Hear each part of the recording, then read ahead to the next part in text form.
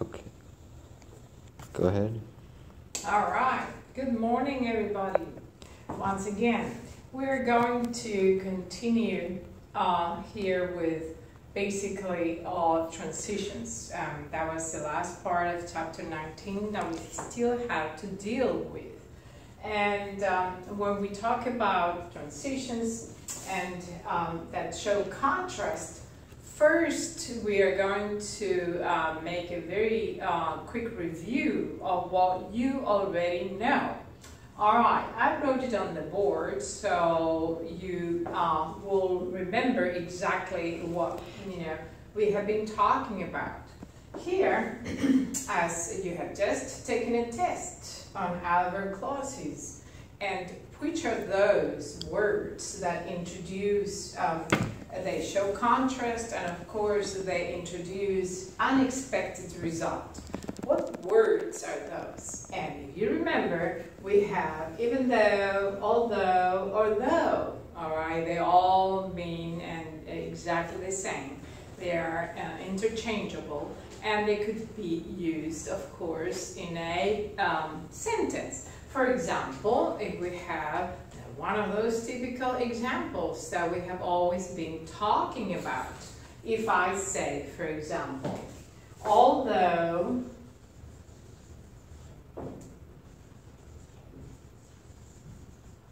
I studied very hard,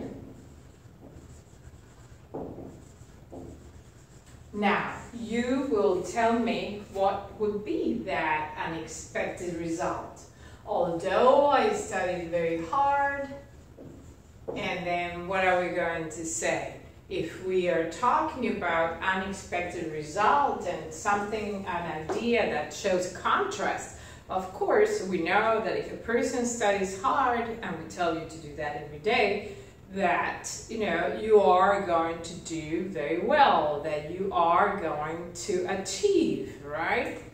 and be successful. But here, this is an expected contrast. So what are we going to say? So we're going to say, although I studied very hard, what happened? Uh, I failed my biology that's right. All right. And that is, of course, with those um, um, adverbs right there that will show contrast. And as we start those, um, you know, the clauses with those. We could use, of course, like I said, even though, although, or though. All right.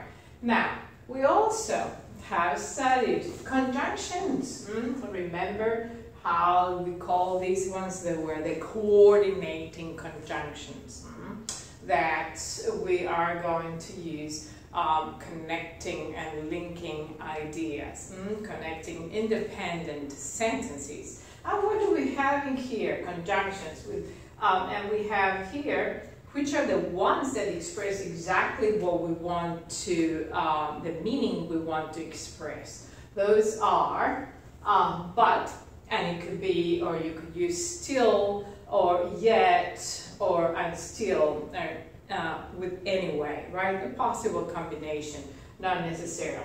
And how do we express just about the same idea that we have there in our first sentence with the adverb?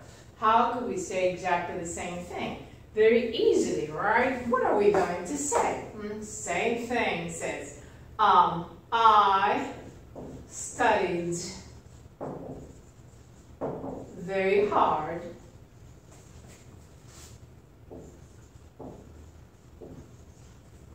And how do we go? This is my dependent sentence as we know that we need to have a comma and connect with that but. Uh, I failed. I failed my biology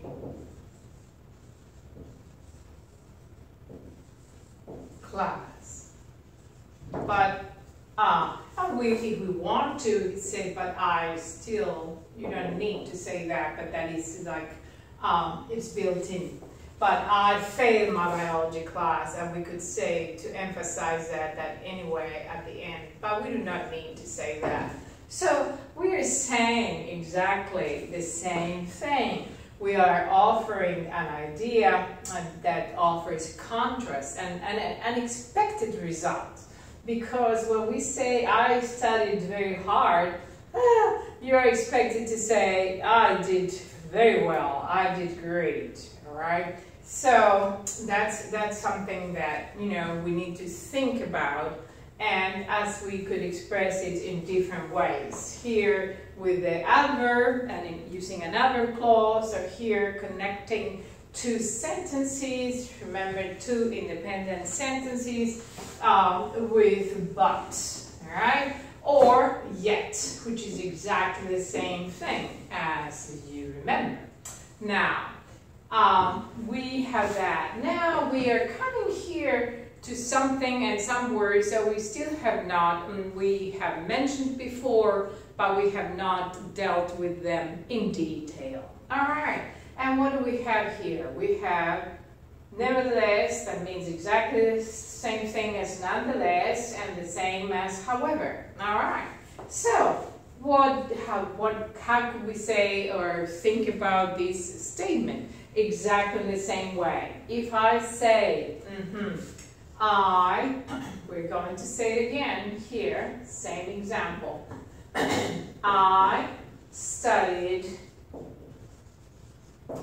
hard, and then we're coming with any of those words mm, that have exactly, and that convey exactly the same meaning. Mm, but they are transition words, and the, that's what we want to have here. Um, what are we going to say?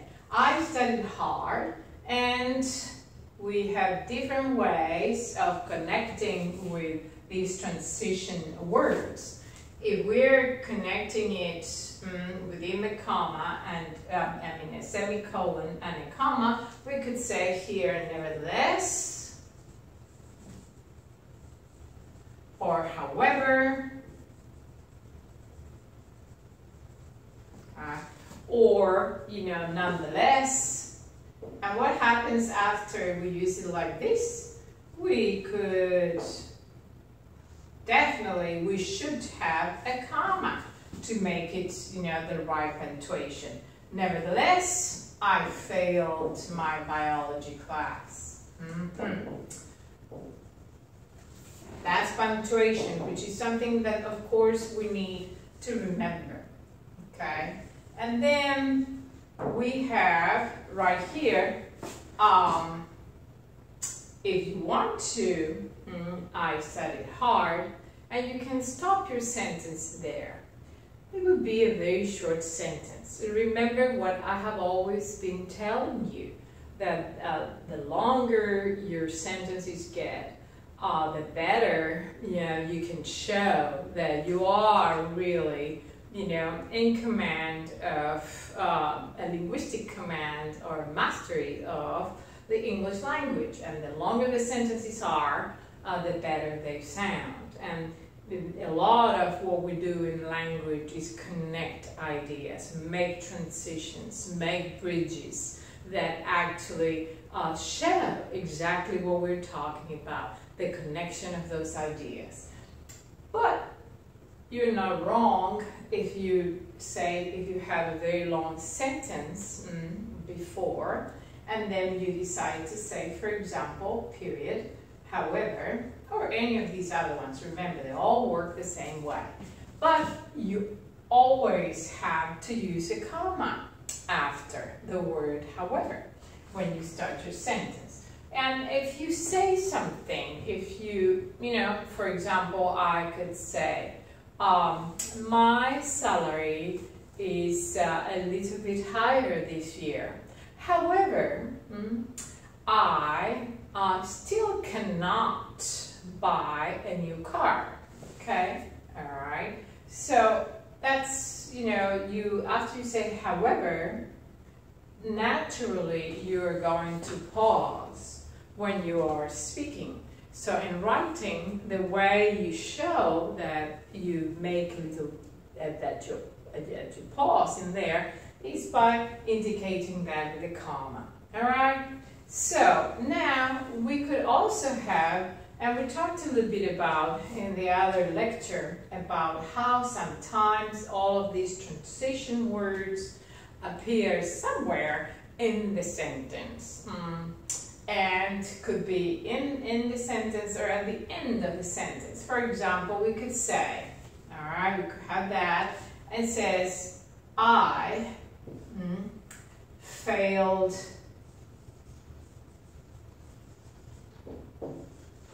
my biology class and says, however. And it, that comes, this comes at the end of the sentence as an afterthought. Mm. Or we could say, I and you could put it in the middle of the sentence right here, almost I. However,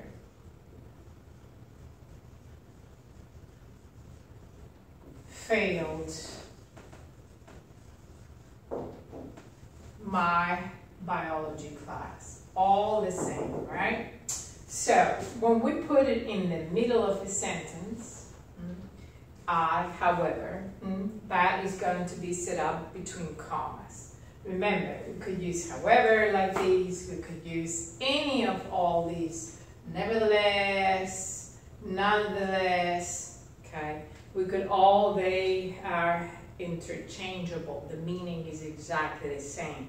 You're saying exactly the same thing, okay? So, there are many examples that we can give. For example, if I say, um, I work a lot in my garden. However, it doesn't look very good. Okay?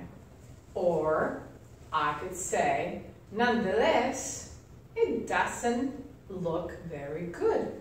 Or, uh, nevertheless, it doesn't look very good. All right? And uh, for example, we could say, Maria spends a lot of time in her kitchen. And remember, we want to give the idea of contrast or unexpected result.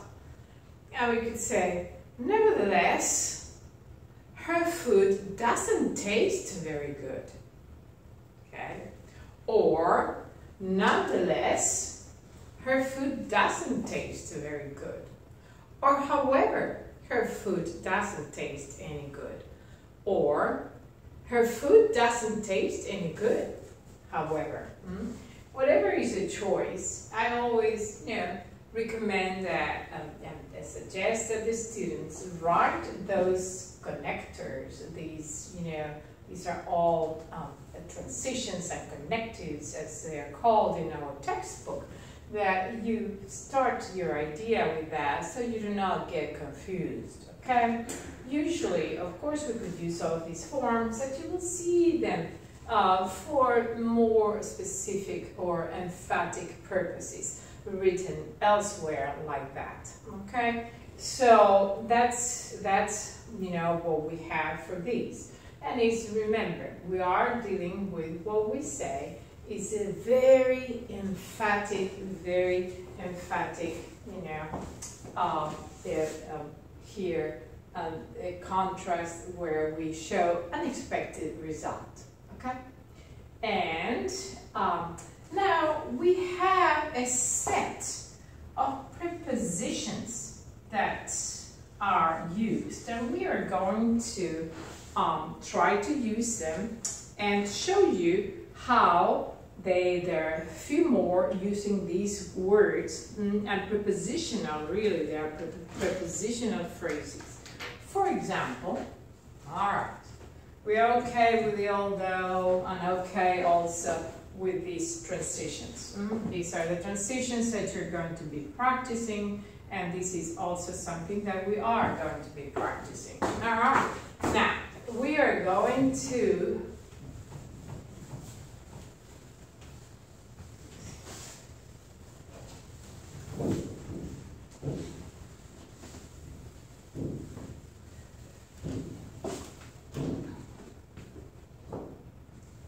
All right, we have, I wrote it here, prepositions. So we're going to put them and have them all in here.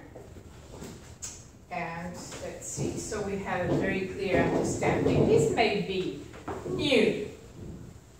Mm. And you may have heard it or read about it, and that's why we, need to understand that these um, just prepositions and those prepositional phrases that we form with these indicate exactly they show contrast and uh, unexpected result. Okay, and we could say, for example,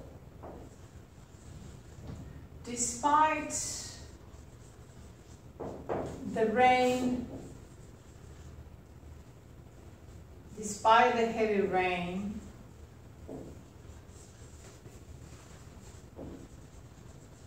and what does that mean? It means that yes, there was a lot of rain.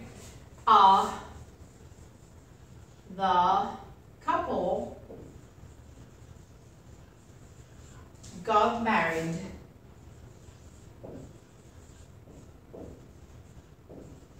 got married outside. Hmm.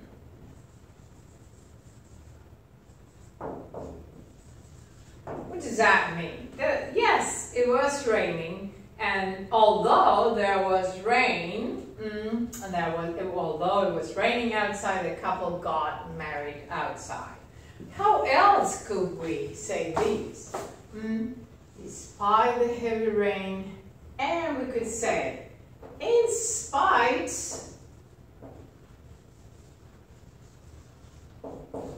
of the heavy rain,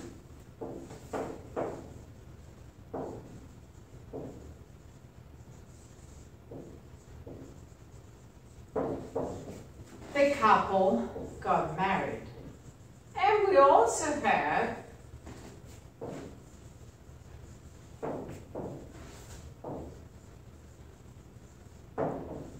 the couple got married. Okay, now, mm -hmm, so we have despite the heavy rain or in spite of, mm, three put together is an expression. And we also are saying same thing when we say, despite the fact that, listen to this, despite the fact that mm, it was raining heavily, we could complete here with a whole clause, despite the fact that it was raining heavily.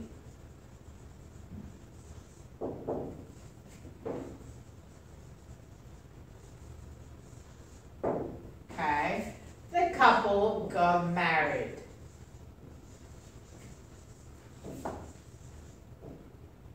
Got married outside. Okay.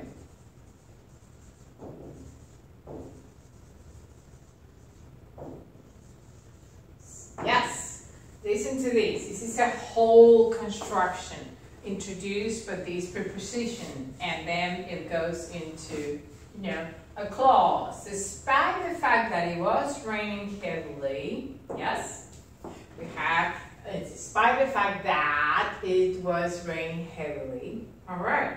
And we can do the same thing with in spite of the heavy rain, in spite of, and we could go ahead and do exactly the same thing.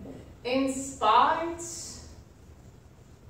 of the fact Look at that, same thing. In spite of the fact, in spite of the two lots, mm. in spite of the fact that it was raining heavily,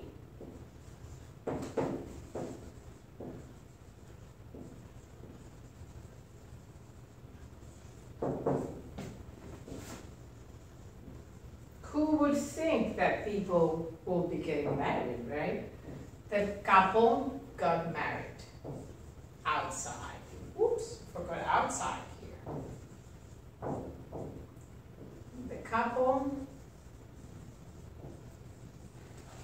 got married outside.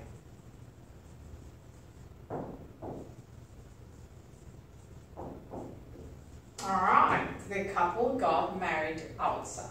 All right, so this is a very, very common form of the language too.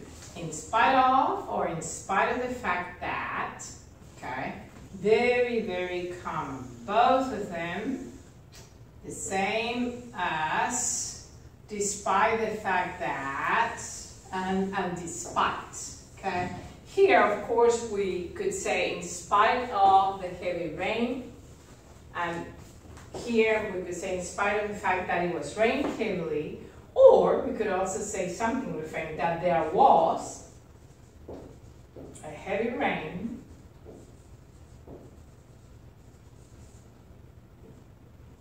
whichever way you want to express it. The idea is that you're introducing a complete clause in here, in spite of the fact that there was a heavy rain.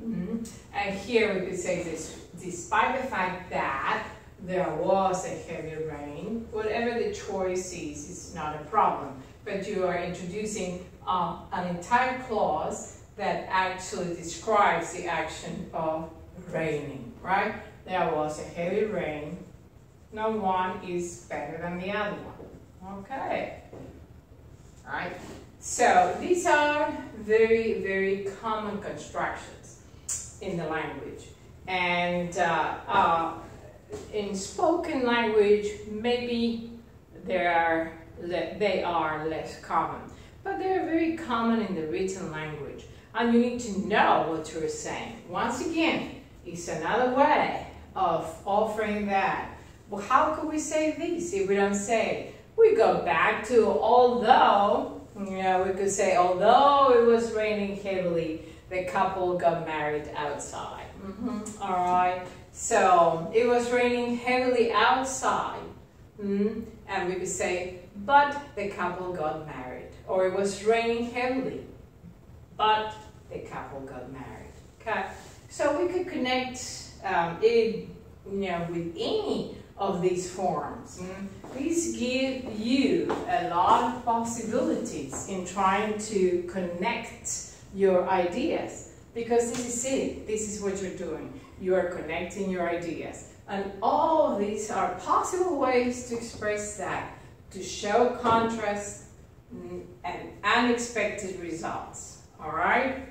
Okay, we're going to give you practice on these two. Now, for example, as, as we basically work, okay, right,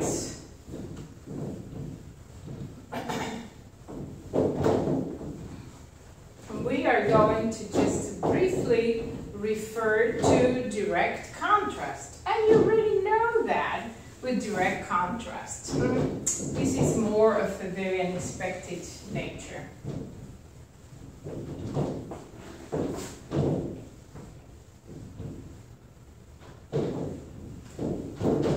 For example, if you remember, how do we show that contrast? We could show it, you know, just basically with but, hmm? or also with while, okay? And see, for example, I, I was going to give you some uh, little, you know, uh, homework with that. We could also just use it very, very direct, okay, contrast. For example, uh, you say, my friend Leah likes to dance.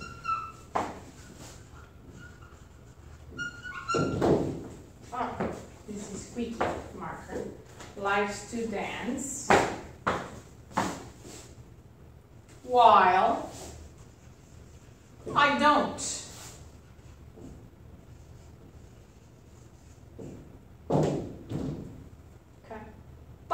I don't, if I say that. It's easy, direct.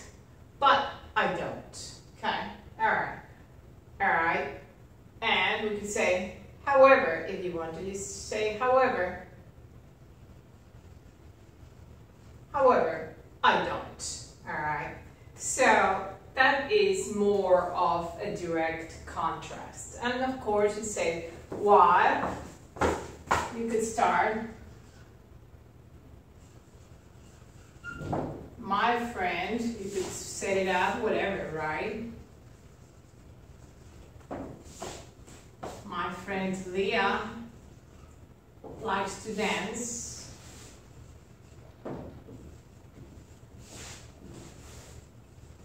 I don't.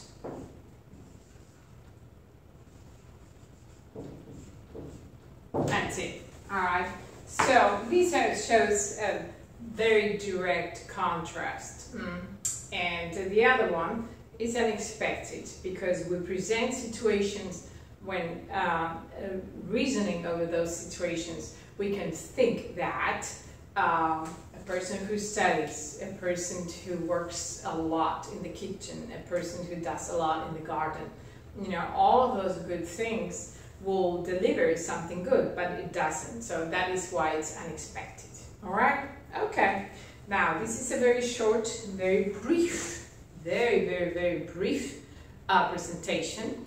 And for the next presentation, we are going to go to the um, modals, all the modals in the present. All right? So bye-bye. I'll see you in a minute.